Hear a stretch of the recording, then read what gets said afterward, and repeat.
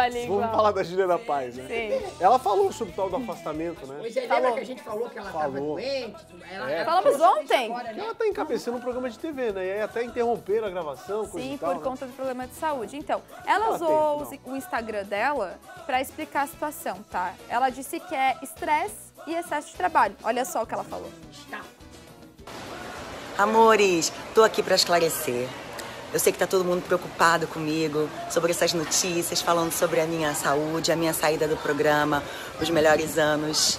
é, E as redes sociais estão aí. Então é o seguinte, quando a gente fala de saúde, fica todo mundo preocupado.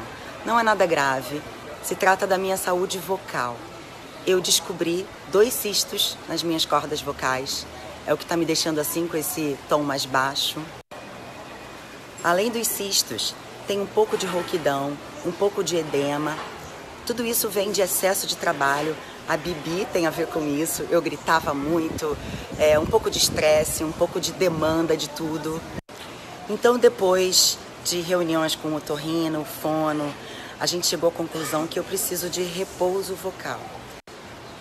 Um beijo, um beijo, beijo, obrigada. Vocês são demais. Esse- essa preocupação, essas mensagens todas eh, me deixaram muito, muito feliz e acarinhada. Mua. Beijo. É, eu- Tá aí. Que bom que ela tá bem. Que bom. Eu fiquei um pouco preocupada. A Juliana Paz era fumante. É, Era. Ela conseguiu parar. Que bom. Tempos atrás a gente até falou sobre isso aqui, ela contou nas redes sociais também. Sim, sim, sim. Mas pode ser um reflexo? Pode, Pode ser, ser. Pode ser. Mas vou dizer que eu fiquei preocupada. Tabagismo? Porque ela Ah. disse que, que isso aí que ela teve esse cistinho na garganta aí, é um reflexo da Bibi perigosa. Porque ela gritava demais. Hum, né? Imagina você, Não. filha. Não, se for medir por grito, eu tô lascada. Tá lascado. eu tô lascadinha. Vamos começar já a fazer uns exames, verdade. amiga, É. pra ver se tá tudo O pessoal certo. sempre me encontra e pergunta assim, Judite, como é que você não fica sem voz? É meu dom natural, amado. Ué, mas olha o tamanho da goela dessa cobra. Com licença. Pra dar um problema aí, viu? Isso Vou te aqui é falar. Esperamos que demore. Só com pé de cabra. é tudo junto.